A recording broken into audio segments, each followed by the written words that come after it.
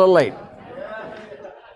So, if we begin, if we've begun, uh, what we're going to do today is I'll finish up the story briefly on DNA. Last time we'd gotten to the point of talking about DNA polymerase and describing how there was a template strand and then a new strand, and how the template strand was the, the strand that was being read by the DNA polymerase, and the new strand was then the complement to that template strand. And we made a big deal toward the end there that there's a leading strand and a lagging strand, and the leading strand derives from the idea that the DNA polymerase reads consistently without interruption along that leading strand. But the caveat is the, uh, the DNA polymerase always, always, always has to read 3' to 5' and generate the complementary strand 5' to 3'. Because of the antiparallel organization of the two strands in every DNA molecule, each time the DNA molecule is replicated, that means that another DNA polymerase has to attach to the template strand on the other side, the complementary strand of DNA, and read 3' to 5'. Thus gives rise to the so-called Okazaki fragments, because it means that the DNA polymerase is reading in fits and starts along that 3' prime to 5' prime region in the complementary sta- strand. So, with that, then, we're going to move on and talk about a very close cousin to the nucleic acid DNA. And this close cousin, of course, is ribonucleic acid. And ribonucleic acid, again, is built on a five carbon sugar called ribose. And again, the five carbon sugar, as we saw yesterday with deoxyribose, the five carbon sugar ribose will have bases attached to the number one carbon. And these bases are remarkably similar. There are the two purines, adenine and guanine and there are the two pyrimidines, cytosine, which was the same as we saw yesterday in DNA, and then uracil. But uracil is just a modification, or thymine is really just a modification of uracil. Thymine being 5-methyl uracil. So this is, these structures, the pyrimidines and purines, are really reminiscent of what we talked about yesterday with DNA. But one of the major differences between DNA and RNA is we emphasized yesterday that DNA is always thrown into that double helix. The strands are always curved one around the other by the, I'm sorry, curved one around the other because of the hydrophobic nature of the bases, and it forces the molecule into the helix. That helix is permitted to a large extent by the lack of the hydroxyl group on the number two carbon of ribose. So now what we'll see is that the number two carbon of ribose has a hydroxyl group on it. That's a big bulky group. And one of the upshots of that is that RNA does not form that double helix. It forms a single strand. Now, the single strand then is not regularly thrown into a helical shape, but instead will fold back on itself and through base pairing within the molecule begin to form a rudimentary three dimensional shape. The rudimentary three dimensional shape becomes important because it now provides a certain level of enzymatic, enzymatic activity to these ribose molecules. And we're going to see as we walk our way through this that even in modern biology, the ribose, the ribose molecules, particularly the one in ribosomal RNA, the RNA in ribosomes, those RNA molecules now, because of their three dimensional shape, will have a certain enzymatic activity. In the case of the ribosome, it's to form a peptide bond. If we won't mention it much in here, but there are all manner of regulatory RNAs. And these regulatory RNAs, many of these maintain a certain level of enzymatic activity. And this probably dates all the way back to the early days of biology on the planet, before we had DNA based biology and protein based biology. It looks like biology started as an RNA system. And some of these enzymatic activities, the so called ribozymes of RNA, date back to those times. We still have some of these rudiments in our cells, and they play really important roles. But then what I want to think about is where yesterday's emphasis was on the idea of DNA replication and was involved only when cells were dividing. The only time you need to replicate DNA is when you want to make new copies for new cells. So cell division requires DNA replication, but that's a fairly rare event. In the life of some cells, it happens every few days, but in the life of other cells like neurons, it happens only during embryonic development. So, replication, cell replication is a fairly rare event. And the structure of the DNA imparts a certain amount of stability to that molecule. But what we're going to talk about now is how we can go from a DNA structure to an RNA structure. This is going to be called RNA transcription. Another way of phrasing this is to say that the DNA, as we've said several times in here, provides a kind of warehouse of information. And then what we'll do is we're going to use RNA tr- transcription to convert the information in the base sequence in DNA into a base sequence in RNA. But if you think about this for a moment, it, it turns out to be rather problematic because we could imagine yesterday in replicating the DNA starting at one end of the molecule and running from one end of the molecule all the way to the other throughout an entire chromosome. You could imagine then that chromosome may have several, several hundred genes on it. And so we would just go reading straight through it and replicate it. But now we have the additional problem. Because what we're going to do is we have to figure out a way to take this sequence of letters a sequence of fundamentally tens of millions of letters and decide where within that, that, that word salad of all these letters, how do we manage to start this? How do we say, there's a gene? We're only going to read a certain short region of the DNA to transcribe that into RNA. We're going to call that short region a gene. How do we find that gene in this enormously long list of letters? Well, the answer to that is we find the beginning point of a gene through a consensus sequence of bases in the DNA. The sequence, there are several of these. There are several base sequences that are, are commonly recognized as so called promoters. Another way of saying that is that the promoter is a base sequence in DNA to which transcription factors bind. So, what we're going to see is that this continuous set of letters now will have subregions called promoters. And those subregions called promoters are sites to which we can bind other proteins called transcription factors. And that's a, a signal to say, begin here. So the promoter is in the DNA. The transcription factor is usually about 13 to 15 proteins that will bind to the promoter. The most common of the promoters is something known as a Tata box but there are several of them. But the one we commonly refer to is thymine, adenine, thymine, adenine, and usually there are two more adenines out here. But that's known as a Tata box. That's a promoter. These are bases in the DNA which say this is the beginning of a gene. That's the site to which transcription factors bind. And then about, oh, 25, maybe 35 to 50 bases downstream of that site toward the 5' end then that will be the transcription start site. That's where we're going to start actually transcribing the, the DNA into RNA. To transcribe the DNA into RNA requires an enzyme that is going to remind us a whole lot of the DNA polymerase yesterday. This is an RNA polymerase. The RNA polymerase will bind to the transcription factors. Now, again, the transcription factors are bound to the Tata box, which is the promoter. They then say, we're going to start reading a gene here. The reading of the gene is done by the RNA polymerase. And what it does is it will recognize the sense strand of the DNA. We're going to use only one strand. It will recognize the sense strand and now begin walking along that sense strand, putting in the complementary bases. And we'll walk our way through that, but I think you can see from what we talked about yesterday that when we generate that new molecule of RNA by an RNA polymerase, we need to have the complementary bases. So when the RNA polymerase sees a cytosine in the DNA, it will put in a guanine. When it sees a guanine, it will put in a cytosine. When it sees a thymine, it will put in an adenine.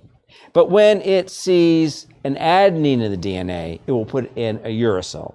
But the uracil is just a fancy, sort of slightly modified thymine.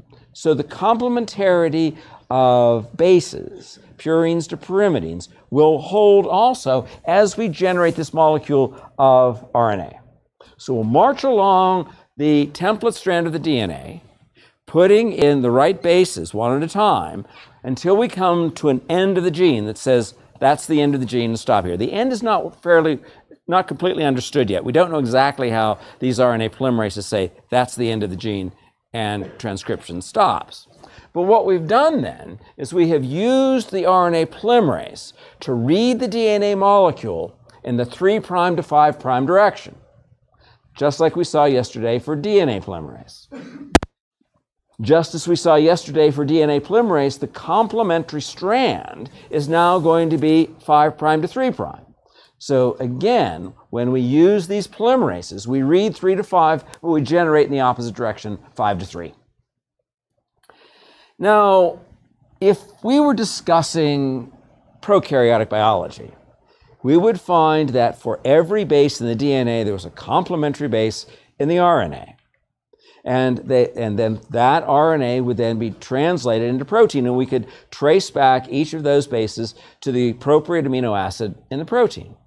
But eukaryotes have figured out a whole new trick. Eukaryotes do this clever thing of RNA editing. So it all starts the same as we saw in prokaryotes. And what I mean by that is the DNA provides a template. The RNA polymerase walks along the DNA strand and generates a new RNA molecule. But that RNA molecule now is processed in the nucleus, there are special enzymes that process the what we call pre mRNA molecule. What these enzymes do is they cut out certain segments of the RNA and throw them away. This is called the introns. And then they splice these ends back together again, and they'll leave in place regions of the RNA that will be translated into protein. Those regions that are translated or expressed into protein are called exons. So again, exons are expressed regions. These are base sequences that are destined to be, to be read by ribosomes and converted into, into an amino acid sequence, whereas the introns are the regions that are cut out and just discarded. They're cut back to their basic bases, and, and those bases are recycled. So we don't do anything with the introns. The exons are the most important part. Now, as we walk our way through this, we're going to tell the story for the most part from the point of view of the mRNA. This is one of the things I have to do down here is I have to add the section of types of RNA. And we're mostly going to talk about messenger RNA. But it's important to know that there are also transfer RNAs, and we'll talk about these, and ribosomal RNAs, and regulatory RNAs.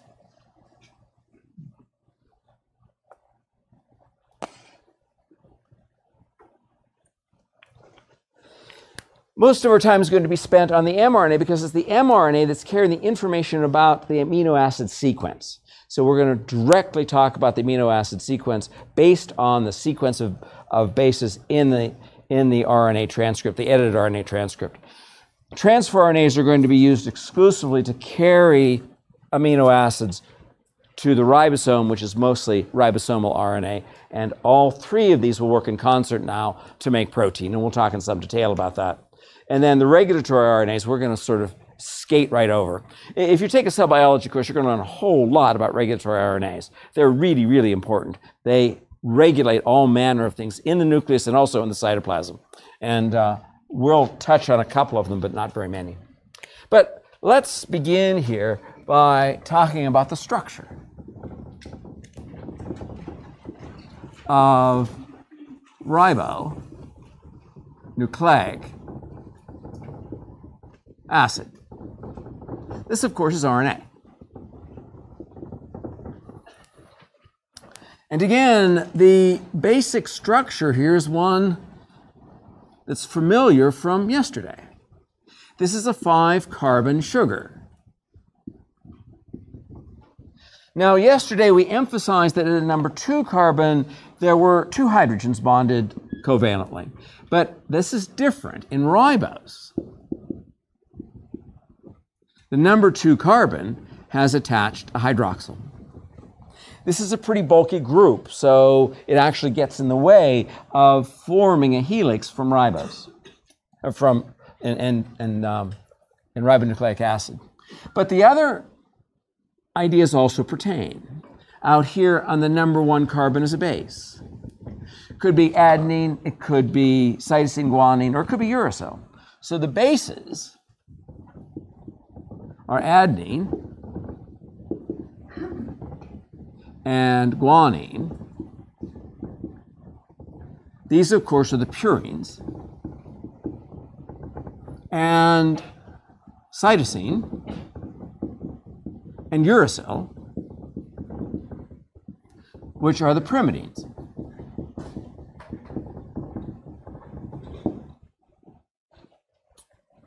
So any of those four bases can be covalently attached by their nitrogens to the glycosidic bond at the number one carbon. And just as we saw yesterday, this carbon up here, the number five carbon, if we just had ribose, would now have a hydroxyl on this. But more commonly, what we see, particularly when we're going to generate a polymer of these molecules, is this is going to come in as a carbon, phosphorus, oxygen, phosphorus. I'm sorry, there should be oxygen here.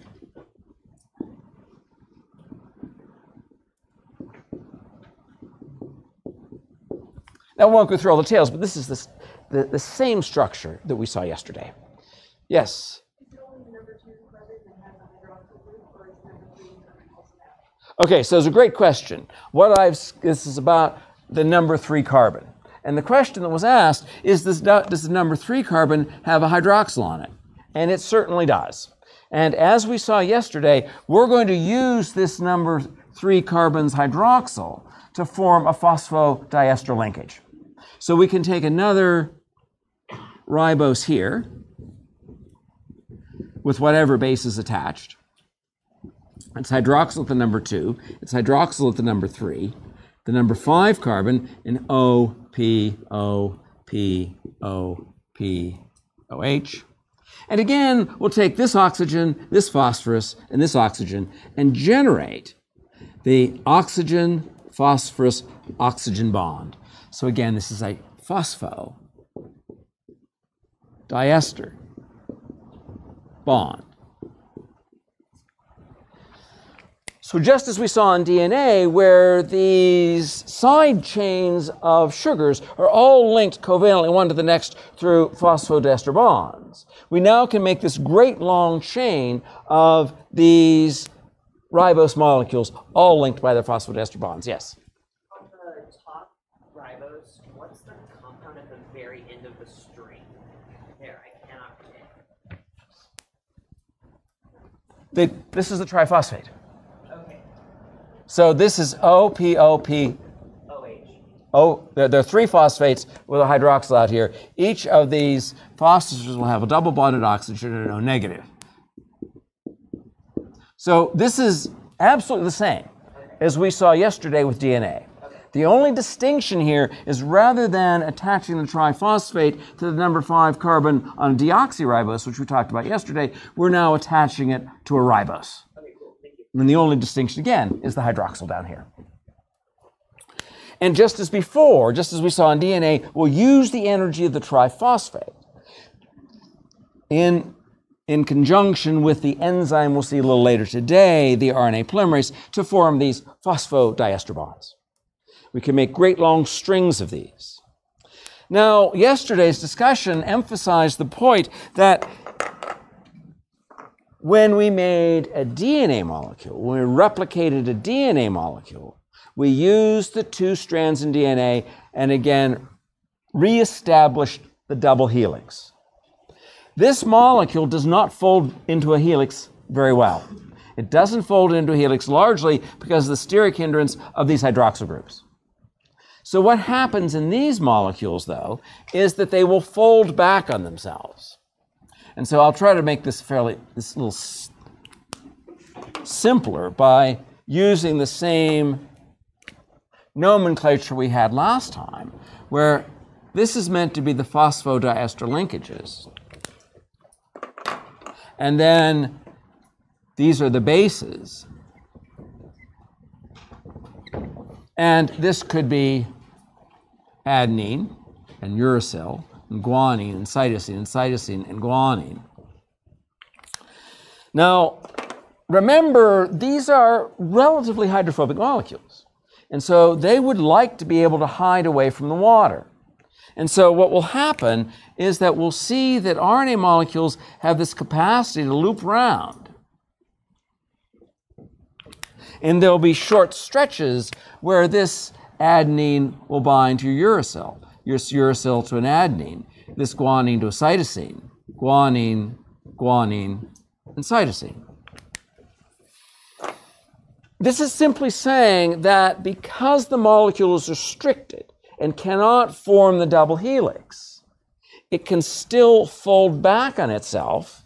So if this is the 3' end and this is the 5' end, it can fold back on itself and through base pairing. And by folding in different ways, it can now begin to generate a three dimensional structure. It's really important that the idea that we can get a rudimentary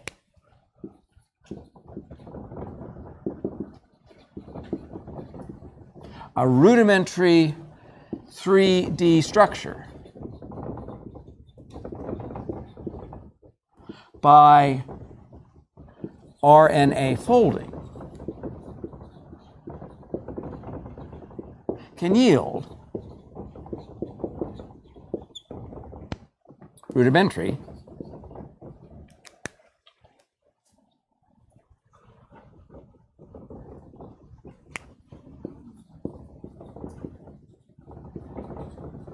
enzymatic activity.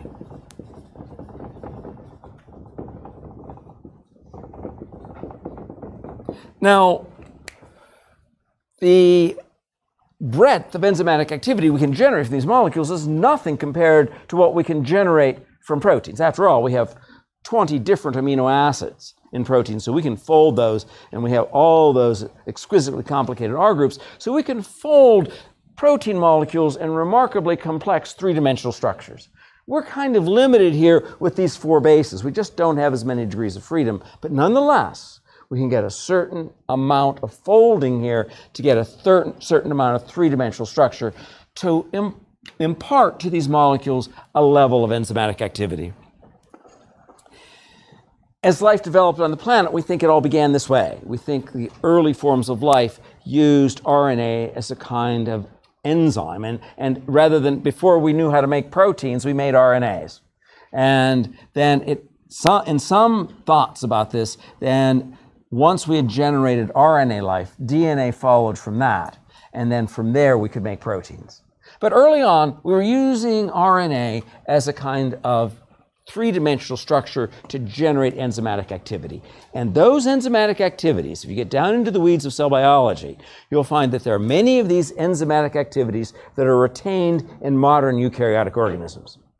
And in fact, one of the ones we'll find, and one I'll emphasize here, is that ribosomal RNA contains base sequences.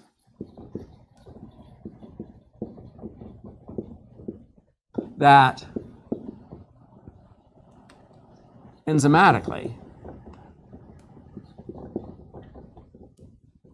let me do it this way, that serve as enzymes to form peptide bonds. More on that later.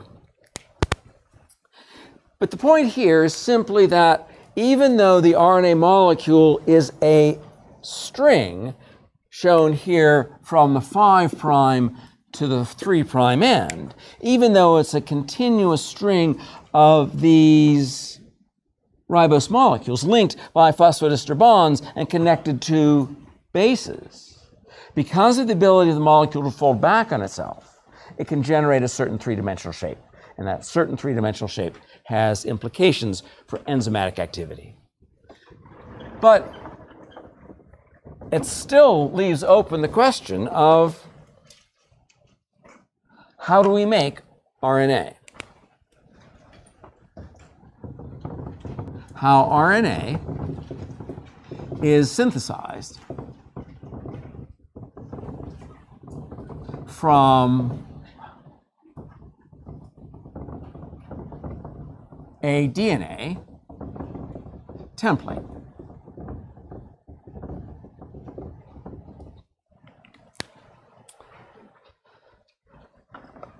Well, the first idea I want to introduce here is a kind of complication. And that is that you know that you have 46 chromosomes, but they come as 23 pairs. So that means you have 23 chromosomes that can generate roughly 20,000 different proteins. So, in other words, another way of phrasing that is there are about 20,000 genes in the genome. Those 20,000 genes are divided more or less equally among the 23 chromosomes. That's a long winded way of saying that each one of the chromosomes contains several hundred genes. And each of those chromosomes, as we saw yesterday, when you look at it, appears to be nothing more than this string of the four bases adenine, thymine, cytosine, and guanine. So there's a string of bases from one end to the next. And how do you decide in that great long string of maybe 10 million or more bases that there's a site that says this is the beginning of a gene? This is the beginning of one of the genes on this chromosome, one of several hundred genes on the chromosome. How do you know where that is? And so the question we want to address here is how does oops, how does the enzyme RNA polymerase know where to start?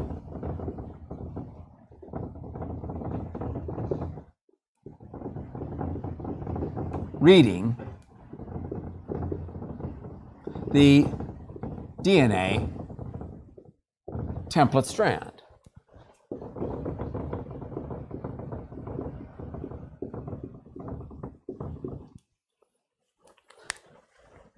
And I'll try to illustrate this by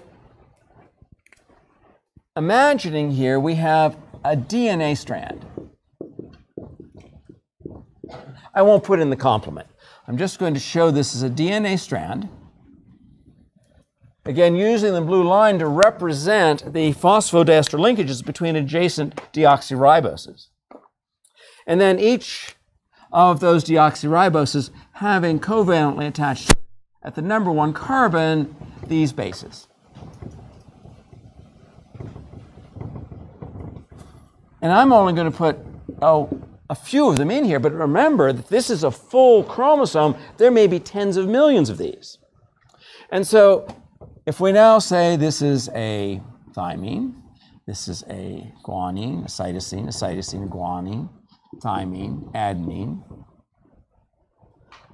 thymine, adenine, thymine, adenine, usually an adenine and adenine, guanine, cytosine, thymine, adenine, guanine, cytosine. Now, this looks like just a string of letters. And where do you decide in this string of letters that we're going to start a gene? Where is the start site for a gene? And we can think of the start site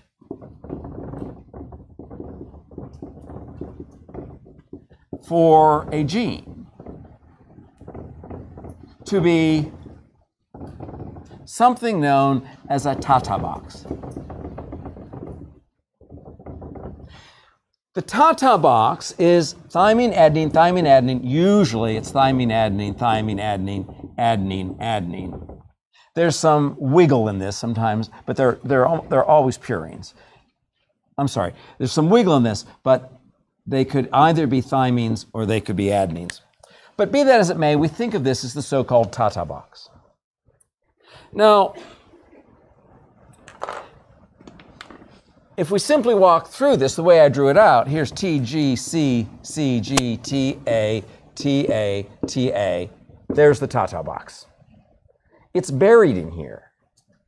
But this Tata box is said to be a promoter.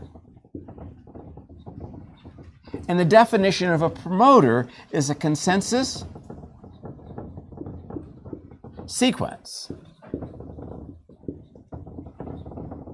of bases in DNA where proteins called transcription factors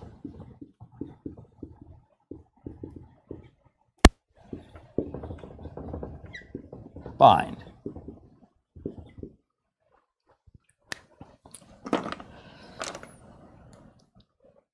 Now, if you get into the cell biologist, you're going to find cell biology of all of this. You're going to find that these transcription factors are aggregations of many proteins, usually 13 to 15.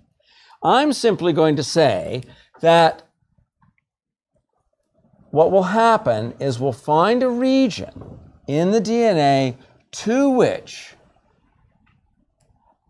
this molecule of proteins, known as a transcription factor, I mean, this bevy of proteins called a transcription factor,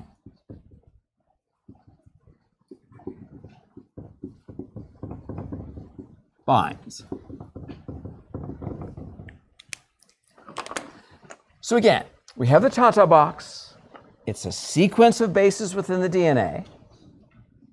We're going to arrange this DNA such that this is the 3' prime end and this is the 5' prime end. The transcription factors have sought out and bound to the Tata box. The binding of the transcription factors to the Tata box now recruits another protein. Put it in blue. It recruits another protein here. I'm just going to show it as a box. And this protein is an RNA polymerase.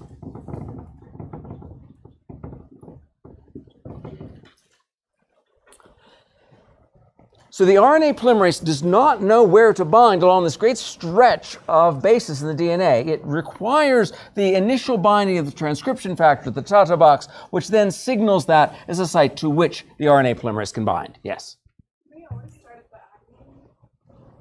So do they always start at the adenine?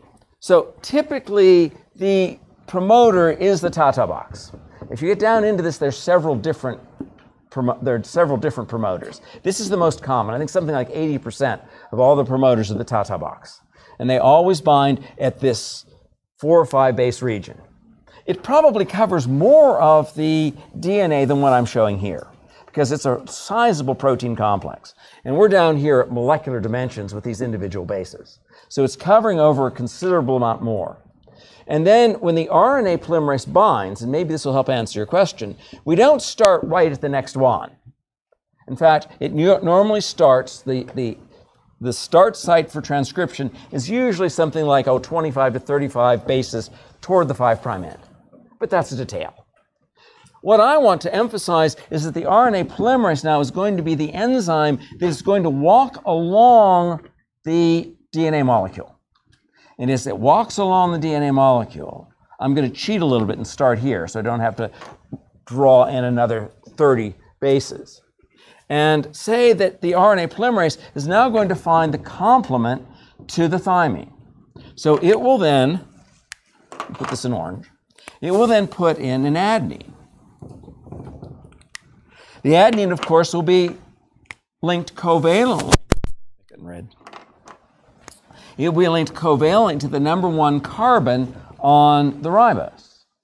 And then the polymerase now will form the phosphodiester bond between this adenine and the complement to this adenine, which is going to be uracil, because we don't have thymine in RNA. So instead, the RNA polymerase says, all right, a uracil base pairs here. I form the phosphodiester linkage. I walk down to the next base, which is now going to be an orange, a cytosine. and then a guanine, and form the appropriate phosphodiester linkages.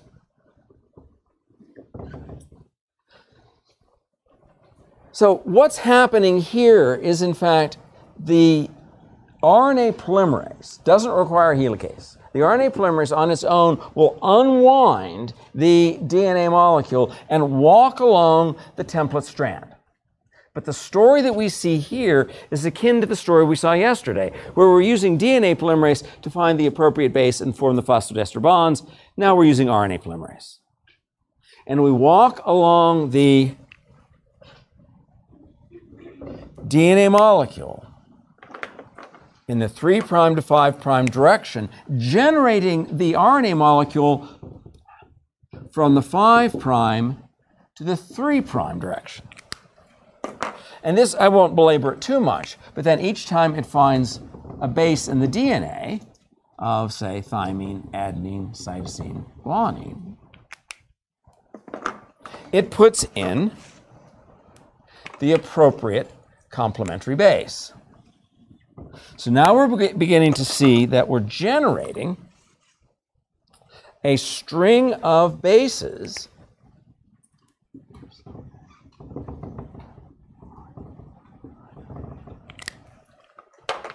we're generating a string of bases that are complementary to the DNA strand.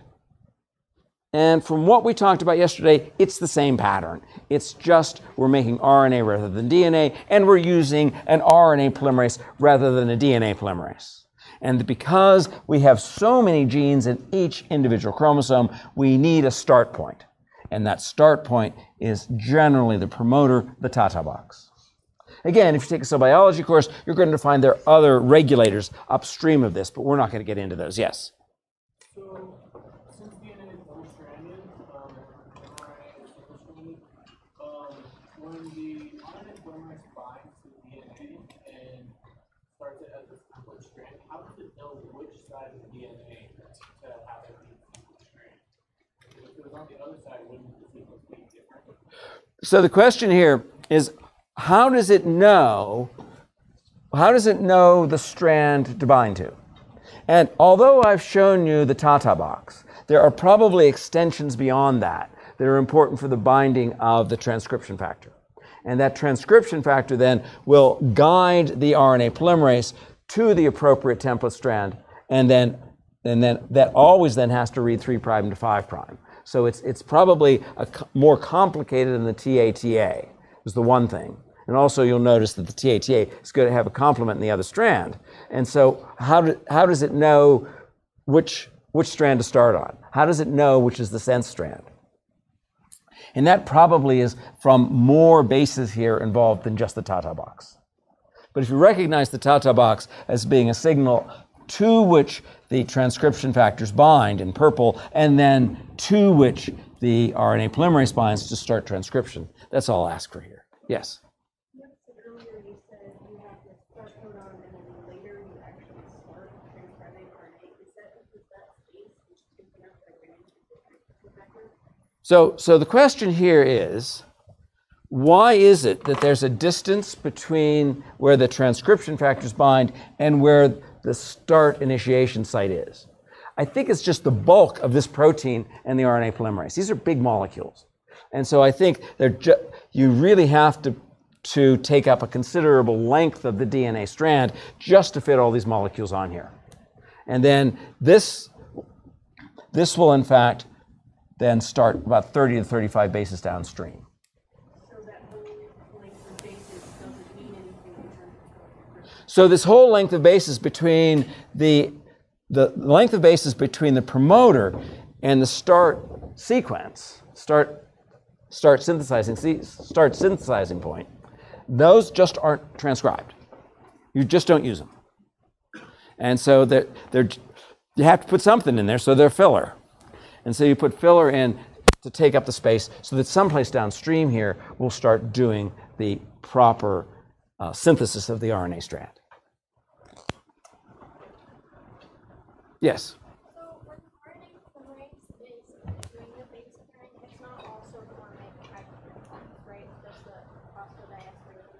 So the question here is the role of the RNA polymerase in forming the phosphodiester bonds as well as the hydrogen bonds. And, and you spotted something here. You're right. There, we're going to put all of these are going to be base paired. So they're going to be held together by hydrogen bonds. And so then that that initiates question. Why don't these things just stick there? And the answer is that as part of the RNA polymerase, there's a part of this molecule that said it's called a paddle.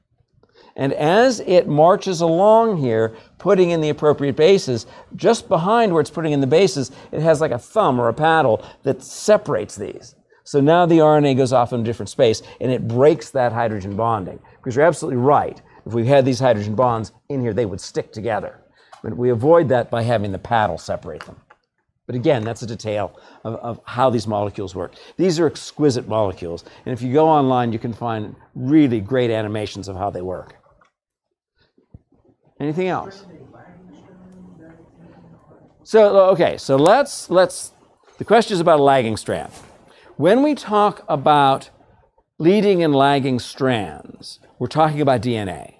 We don't use that terminology normally for RNA. But you're right in the sense that when we make, when we use the RNA polymerase to read the DNA strand, we read 3' prime to 5' prime and we generate 1 5' prime to 3'. So there really isn't the Okazaki fragment problem that we saw in DNA polymerase because we're always reading 3 to 5. Theoretically, and there's only one case of this that I know of, you could have the complement for the DNA running 5 prime to 3 prime. Right, running 5 prime. To, wait a minute, what am I doing? 3 prime to 5 prime. This is 3 5. This would be. Right, this would be the 3 prime here, the 5 prime here of DNA. You'd have the complement. So you could find a Tata box in this strand. It could be the complement of this other strand. You could walk along, find the, the Tata box, put in the RNA polymerase, and read it in that direction. You could do that. There's only one case I know of where the two strands of the DNA read different, generate different proteins, you know, the different genes. The what? It, it just, this is just the complementary strand. And we always generate at 5 prime to 3 prime. Okay? Anything else? Okay. Ooh. Um, now, remember that the DNA is confined to the nucleus. So, all this business of transcription factors and the business of promoters, all of that, and the generation of the new RNA transcript, all of that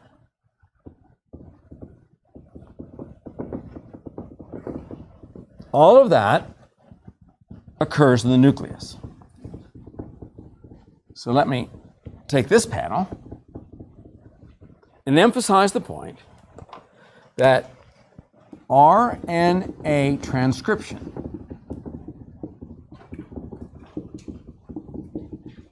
from DNA occurs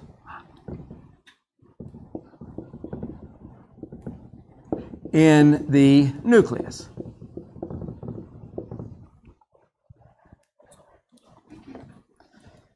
One of the initial ideas that you'll see from what we had up above is that the RNA transcript is complementary.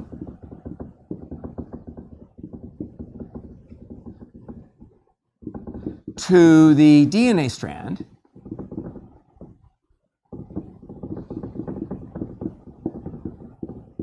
from which it was synthesized.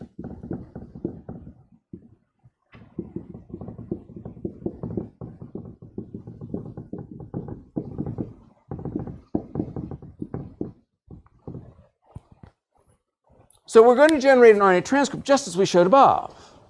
And that's true, and that's going to happen in the nucleus. And if we were a prokaryotic organism, although it wouldn't be in the nucleus, if we were a prokaryotic organism, that would be the end of it. We wouldn't change that RNA at all. But what eukaryotes do is in eukaryotes,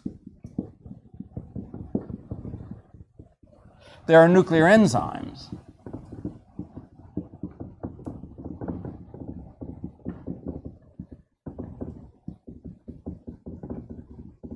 that cut and splice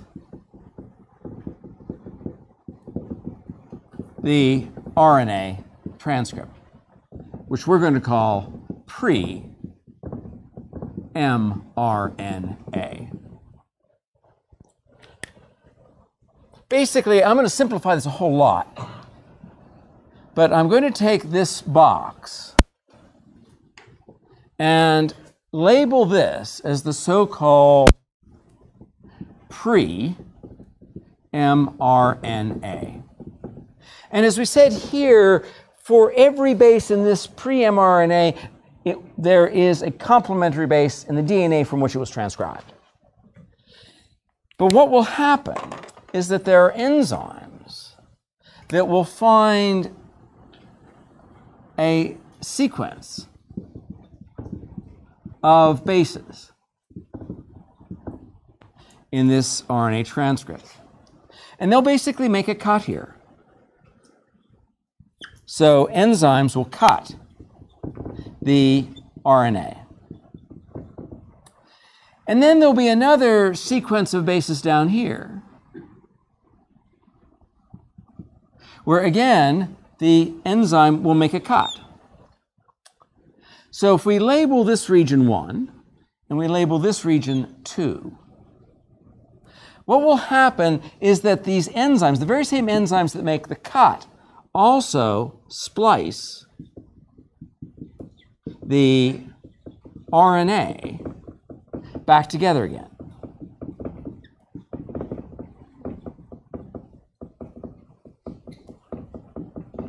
So that the enzyme will cut here, but we'll take this number one segment and tie it in to the number two segment.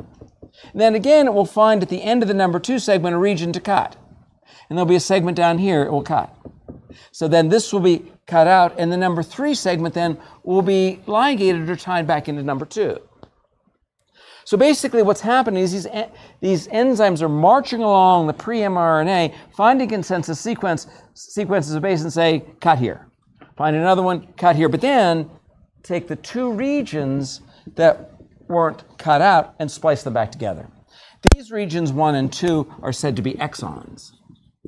This means these are expressed regions. And these regions that are cut out are introns, meaning intervening sequences. Tomorrow we'll talk a little bit about why this gives an advantage to eukaryotes, because I think you begin seeing if you can have a little bit of jitter in where you make these cuts, you can make different kinds of mRNA from the same gene. And we'll talk about that tomorrow.